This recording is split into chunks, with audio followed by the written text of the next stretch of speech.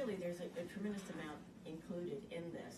And there were frequent references to Dance Theater Harlem, and I'm wondering where you, uh, is it on? It's not on. That's, that's for the external audience, so you'll just have to speak loudly, Zita. Okay. Yeah. So I would, there's a lot of information included here, and there were frequent references, uh, as I was saying, to Dance Theater Harlem. And I know, I'd love to know where you think it fits into this context of contemporary ballet. Mm-hmm. Does it have the power to shift mm-hmm. Mm-hmm. the, the image that we have of contemporary ballet? Is it on that road, or? That's a great question. So there's kind of this thing about this this tripart who, what, and how. So the contemporary ballet, in a way that, that I'm trying to map it here, is about a how and a what, pretty much. And then there's who gets to do it. So Dance Theater of Harlem is, you know, a company that's committed to making space for black people to work in ballet. They don't only do contemporary ballets, though. They do classical ballets, neoclassical ballets, and contemporary ballets. So they do all these different modes of work. But the who is, is right in the front and center with Dance Theater of Harlem in a way that's not in sort of any other com- company in the United States. So, you know, Dance Theater Harlem has a very special place in terms of helping transform what ballet can do and how it can do it, for sure. And, you know, we might have looked at um, Donald Byrd, who's a good friend and a very amazing choreographer, made a piece called Contested Space for Dance of Harlem about four years ago. And um, it's phenomenal how it tries to do many of the kinds of things that we saw um, Kyle Abraham do in the solo that we looked at from New York City Ballet, but it does it in Donald Byrd's own in, inimitable style. And that work is very much contemporary ballet and kind of makes your eyes blurry to watch this. And I know um, talking to the dancers and Virginia Johnson, the director of the company, they had a really hard time doing this work in all the good ways because it demanded a kind of attention to political possibility. And often ballet pushes all that, you know, you're a sylph or a swan or you're doing shapes and forms and pushes the sort of politicalness of being a black person um, off of the stage. Donald's work just doesn't allow that.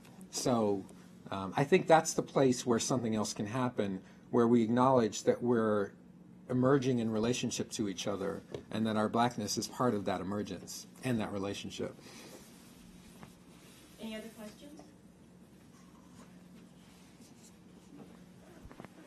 Yes. No, no, just put the hand up. I'll ask one. Yes. Yeah? Okay. Sure. um, um, thank you, Tommy. Um, so I was just trying to think back to. The um, mic doesn't work. Oh, sorry. It's too It's sorry. um, so I was just trying to think back to um, doing work on Althusser years and years ago, Mhm. and one of the things um, I was thinking is that.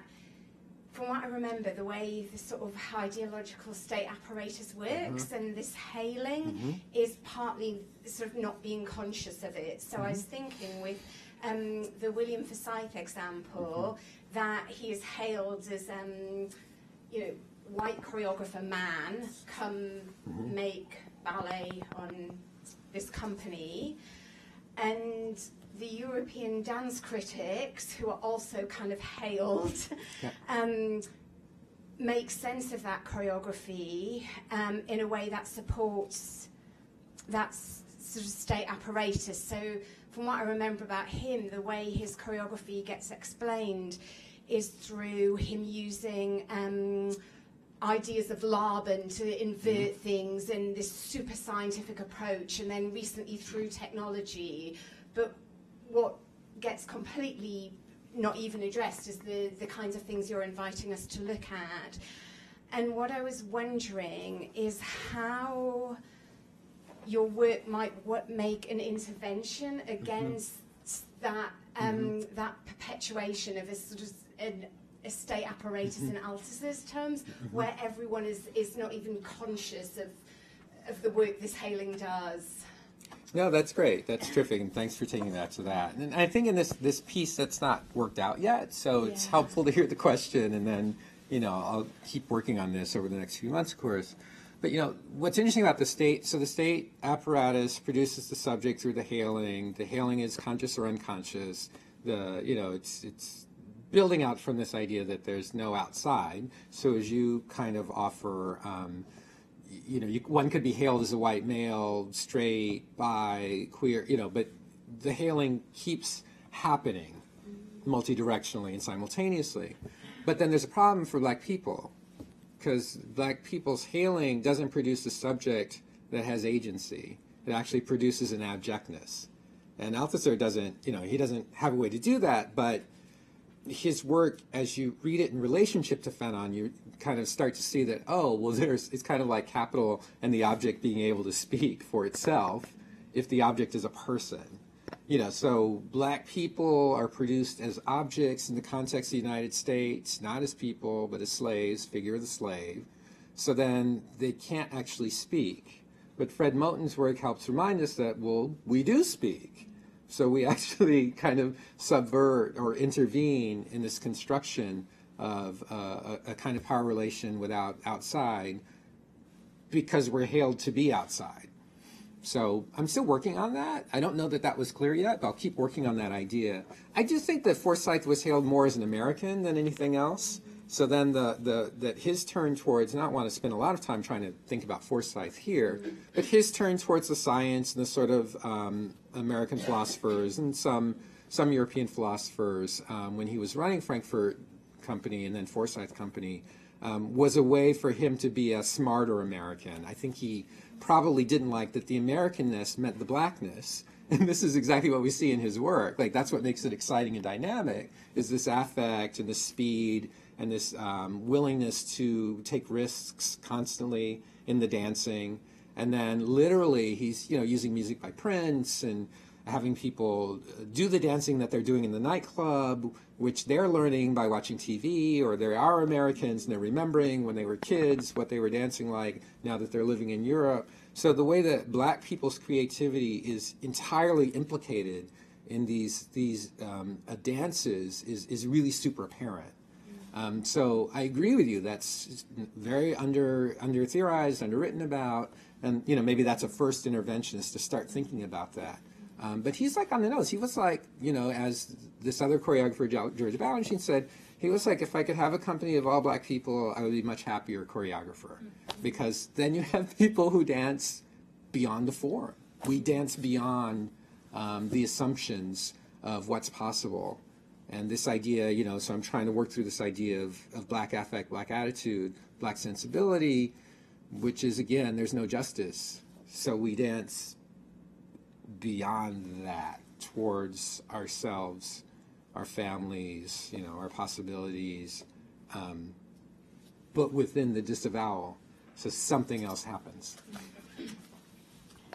An interesting point to, to the Forsythe too is that at some at one point, uh, Francesca Harper mentioned in an interview when we were talking about uh, the company and she was dancing with it. There was a period when Forsythe's company was almost fifty percent black. That's right. In fact, yeah. He was super happy then, yeah. He was like, that's what I want. And you know, he trains, he teaches at USC now, and he's, uh, as a consultant at that program, said he wants to train dancers in ballet and hip hop. Like, he's like, those are the forms you need. What happens to modern? He's like, well, modern, eh, ballet and hip hop, you know, so rhythm, weight, line, affect, attitude, and then form, musculature in a certain kind of way, ability to approach symmetries. Right. Yeah. And in fact, uh, Taylor Stanley, who's Mm-hmm. doing the Kyle Abraham piece, his first dance form was hip hop Mhm. before he went into New York City Ballet. Uh, question? Yes. I'll just try something out. But just for the audience outside. Yeah. It's, it's For remote the folks who are- yeah. access one, that's all right. So you could come up. Thank Hi. you. So, um, I just had a question. You mentioned um, Alonzo King, and you were Mhm. saying that he's a black choreographer, Mhm. but he doesn't incorporate a lot of, I guess, uh, black characteristics of our performance. And Mm-hmm. I'm also reading your book, The um, Black Performance Theory. So my question is, when you have someone like uh, Mr. King, who is black, but they're creating work that doesn't necessarily reflect that culture. Is it a part of the black performance lineage, or is it something else? Mhm, mhm. That's a great question. Thank you for that. It's beautiful.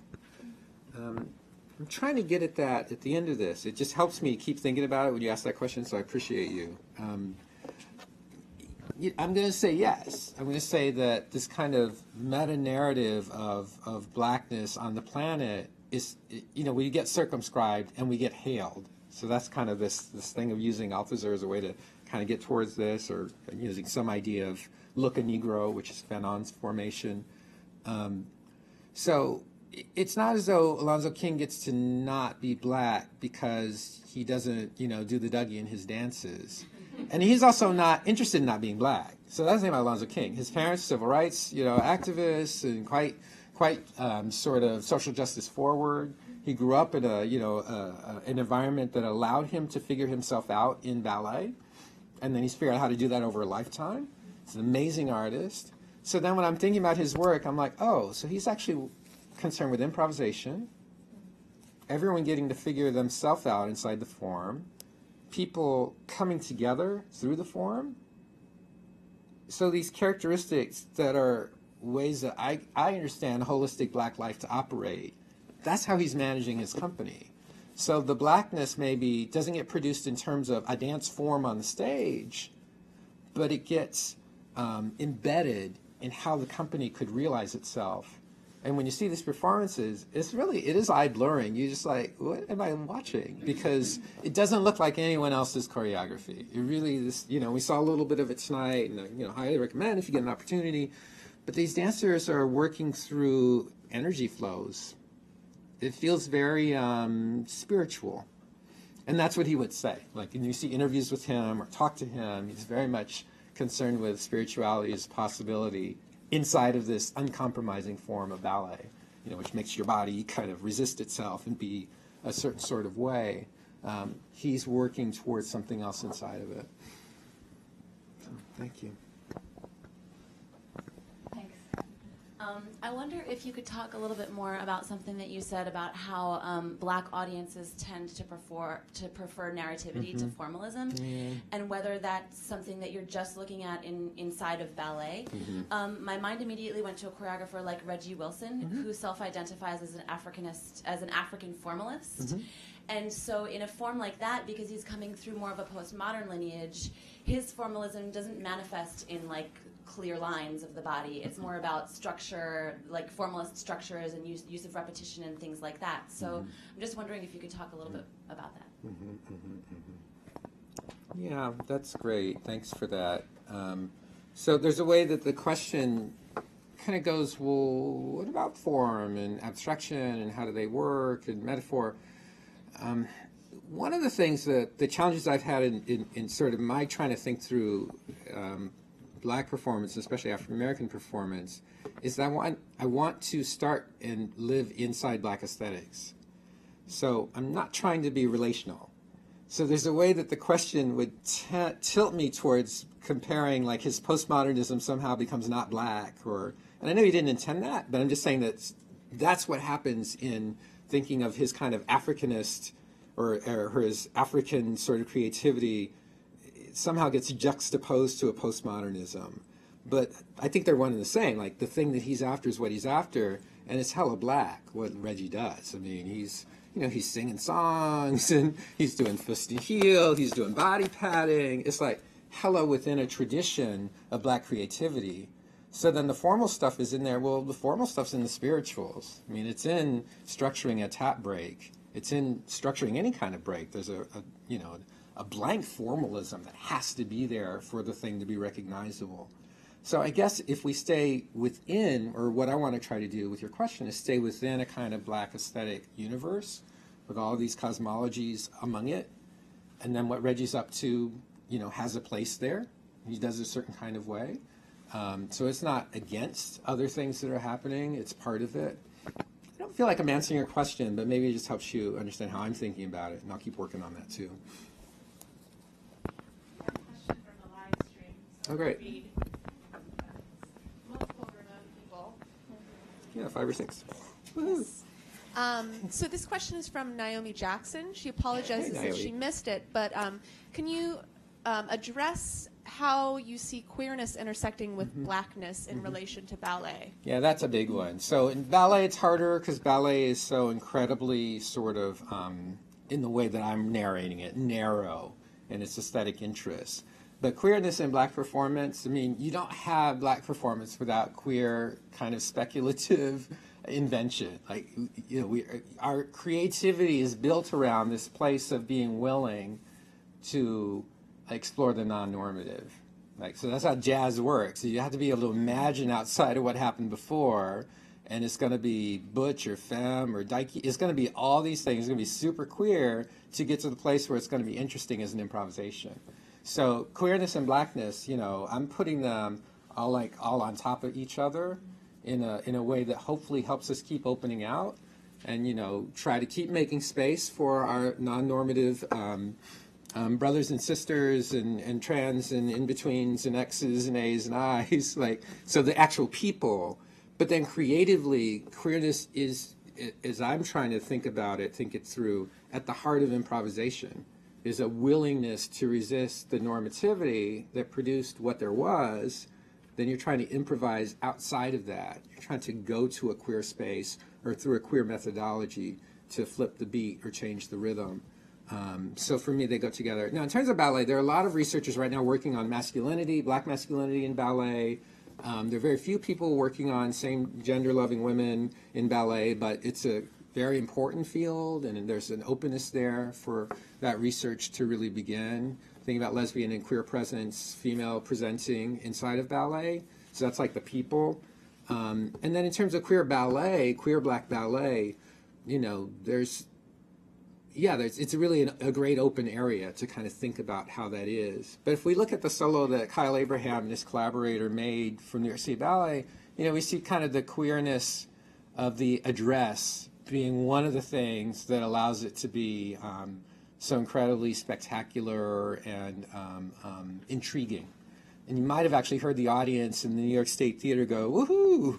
You know, which is unusual. It doesn't happen a lot when you're watching Interplay or, you know, Shostakovich or whatever. so, something else is happening there. Thank, you very much.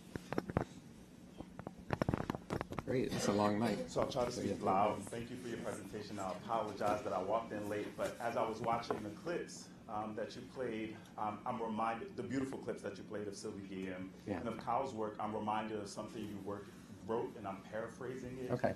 Um, from the introduction to the Dance Scholar volume you edited. Okay. And one of the things that you said was blackness need, black people need not be present for blackness to exist. And I'm wondering, in thinking of that, and in thinking of your research, specifically looking at City Ballet, there's a lot of work on Tiler Peck and her particular way of performing, and people can read it as blackness. But I'm wondering if you're finding that um, any failures when casting changes, um, but the mode of blackness failing on a non-black body, and if that, if there are any um, thinkings about where research can go in looking at how the use of blackness on non-black bodies might be failing, and what we can learn um, as a result of the failure, not as an attempt to criticize the use of it, but ultimately for the window of possibility to be opened. That's a great question. Thank you so much for that. I appreciate it. Um, yeah, there's a way that you know blackness ends up can or black performance can be squashed into just it happened or it didn't.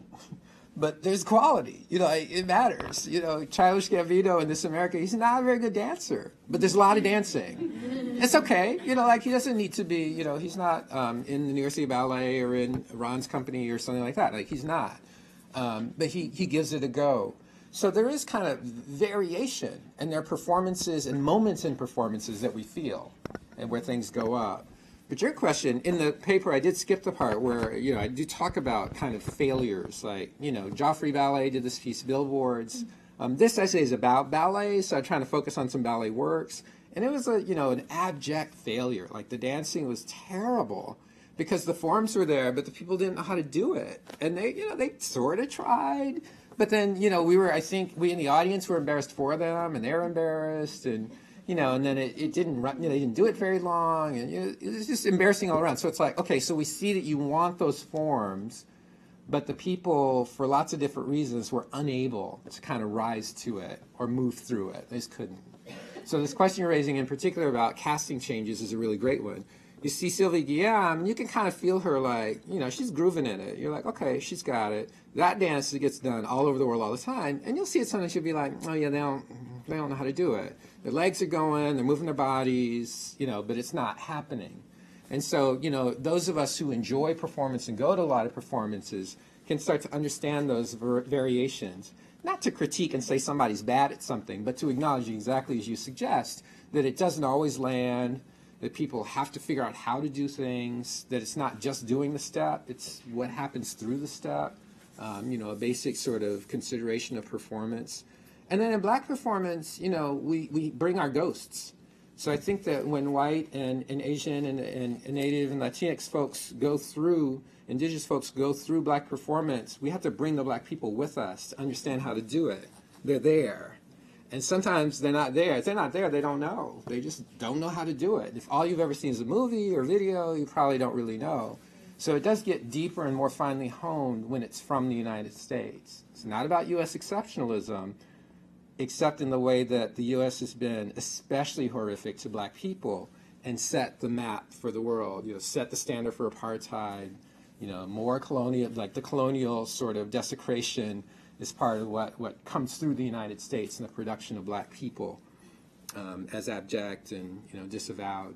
So so the closer to the root, you know, the, the, the more possible of that kind of kind of um, working through. It's a great question, though. Thank you for that. Okay, so I'm not really a dance major. I don't study dance like that. This is my first semester. All right, well done. Dance class or something, but I did musical theater. Okay. In high school, and a couple of community musical theater. Beautiful. Um, so my question is, can you make a connection between black dance Mhm. and more African Mhm. traditional spiritual kind of? Mhm. Because I'm kind of like confused of Yeah. the two. Good for you. I mean, thanks for that too. This I decided to just dive in, and you know, didn't kind of go in the the 101 moments. This is a great question. When I'm saying black and talking about it very casually, I'm very specifically trying to think about African American and North American. So very specifically. So what happened in the Caribbean? You know, most of the the, the African people who were enslaved brought through the Caribbean. Most go to Brazil and Latin America, and then you know some come to the U.S. But what happens in the U.S. is different. And then, you know, the U.S.'s relationship to capital and to invention and to progress and to um, power is super different than anywhere else on the planet. So something really particular happens in the United States that's worth trying to think through. It's always going to be a relationship to the continent or the motherland and the Caribbean, you know, even closer is the Caribbean for black Americans, and then the continent. It's always going to be a relationship.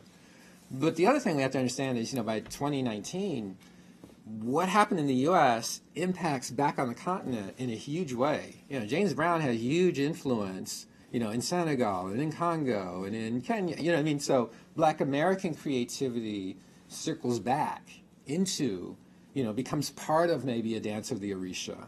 So the things that happen in the U.S. end up influencing things that are happening in the Caribbean and then back on the continent as well. It's all a big, you know, kind of um, um, like a Mobius strip or a, the water flowing back and forth.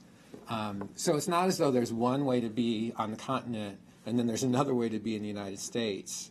It's not. It's not like that. It's all. It's all mixed up together. So you know, in, so what I'm trying to say is that the relationships are deep and powerful. And you know, so something when Beyonce does a music video by 2017 or 16 where she did Lemonade, like that influences how a feast will be practiced maybe in Trinidad. Like it, you know, it's not they're not separate. They end up being in relationship to each other. Um, and then you know, the feast dancing maybe is what we see as part of um, formation, the video. Like those movements end up being part of the choreography for a music video. So do you see what I mean? So they're just kind of we're all working alongside each other and through each other's knowledges um, to imagine our creative futures.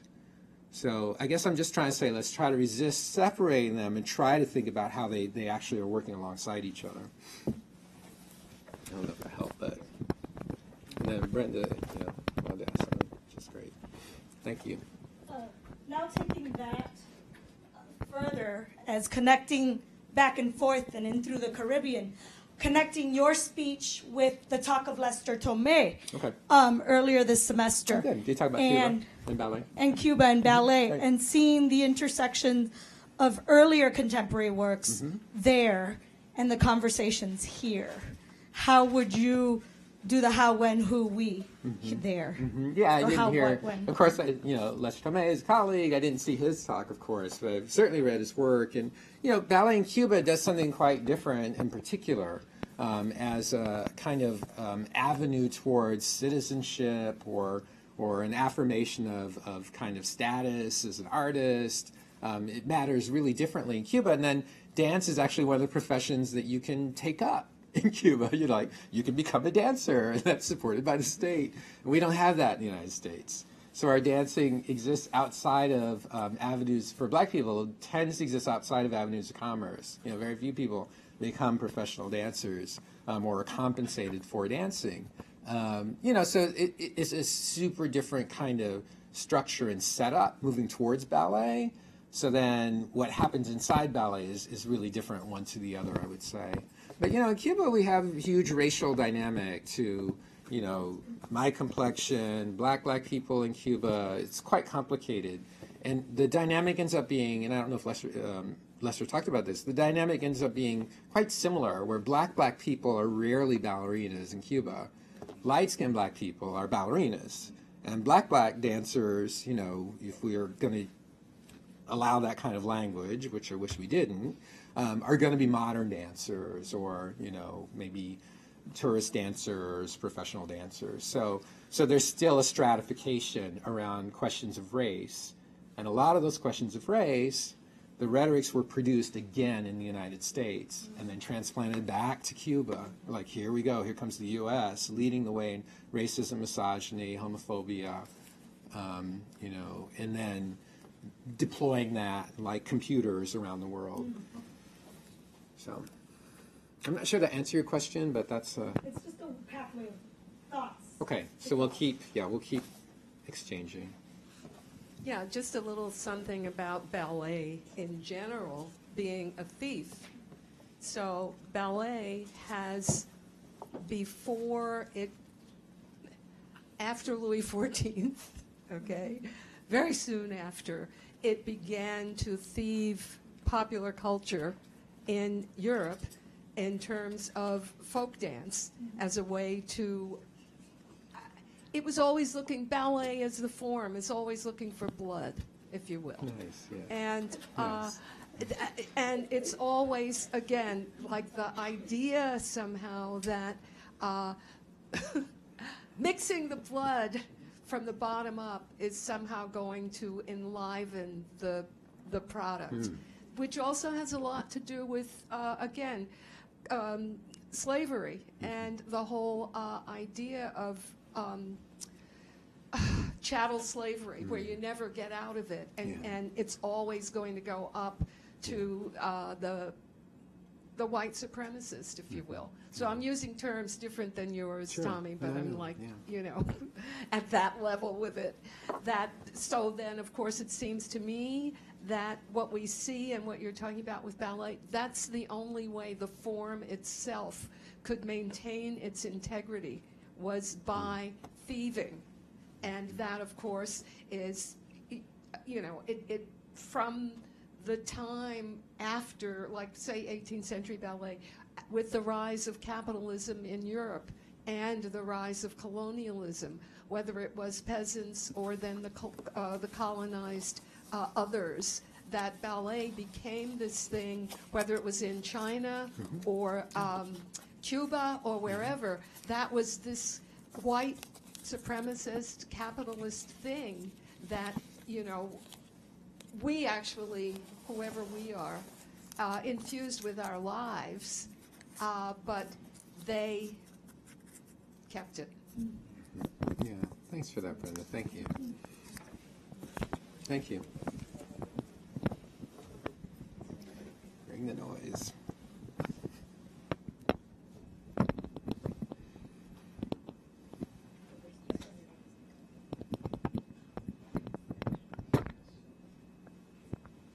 Thank you so much for your presentation. It's a pleasure. I really enjoyed it. Thank you. I'm Kujo Imano. Hello. Uh, I'm trying to speak about the word Africanist aesthetics. Mhm. I'm from Africa. Yes. And I know the term is very broad Mhm. and people think about beauty, so many angle. Mhm. But what is your word Mhm. that you use to define that kind of Africanist aesthetics? Mhm.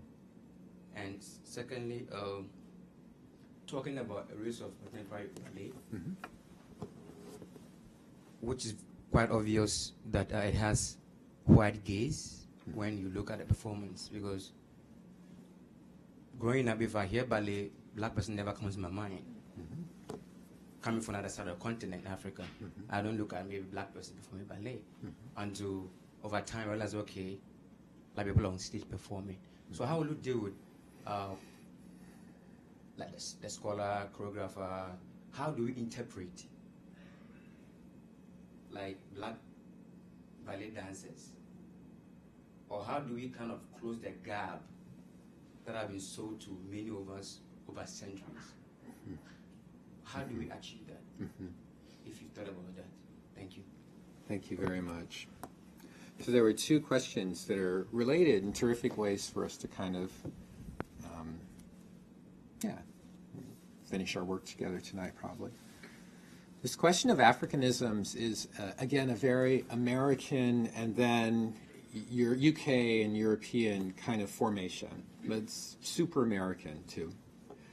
And it's the idea, it's related to the, the question that came before about you, are there are there always black people present when there's black affect or you know kind of black expression you know can there be an eminem who's a rapper who's any good if he's not black so then we start to go well, of course actually that's true there can be a drummer who's who's from china who's amazing as a jazz musician and they're learning some formal structures so when we say africanist or africanisms we're talking about the formal structures so what are they? It's an approach to rhythm, and in dance we have a specific way we talk about them. What the body does, moving the weight down, separate centers of gravity, different ways to move, attack, hitting something hard, um, and also dancing towards um, derision or irony. You know, a teasing dance. You're making fun of something when the dance is happening. So they're formal structures that produce um, the performance, and we call these Africanisms again, it's super particular to a U.S. academic context, and then UK, and then it kind of branched out to the Caribbean, Caribbean scholars, and then further um, east in Europe. The question of like who gets to dance ballet, I mean, we, we and this is a great place to kind of conclude together is like we, we can always go back to the Black Power movement and the decolonizing moments where the formations of black African countries.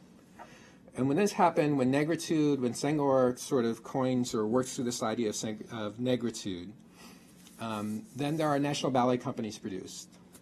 The National Ballet of Senegal. Let's do two more. The National Ballet of Ghana. One more. The National Ballet of. Okay, thank you, Zimbabwe. So there we go. These are ballet companies. They're called the National Ballet. They're dance companies. They're theatrical. They're on stages. They're not doing this.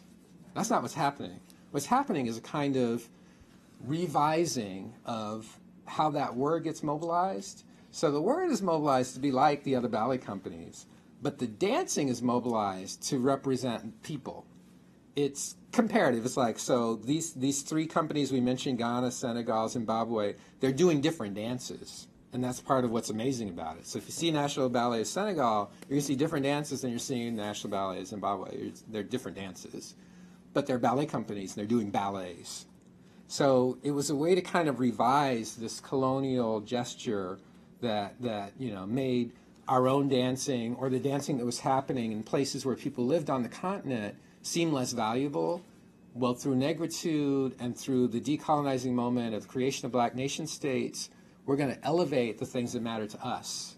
And we're going to call them ballet because they're theatrical dance. And then we're going to be able to put them at the place in London or at um, Covent Gardens or at the Brooklyn Academy of Music as a ballet company that represents people of a certain tradition and place.